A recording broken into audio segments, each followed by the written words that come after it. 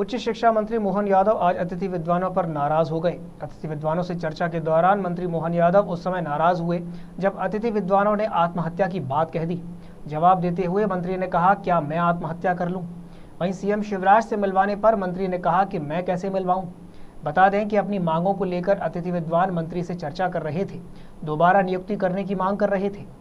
इससे पहले अगस्त महीने में उज्जैन दौरे पर रहे मध्य प्रदेश सरकार के उच्च शिक्षा मंत्री डॉक्टर मोहन यादव ने कहा था कि हम बाहर हुए अतिथि विद्वानों को व्यवस्था में वापस लेने की तैयारी कर रहे हैं और जल्द ही आप सभी वापस व्यवस्था में आ जाएँगे।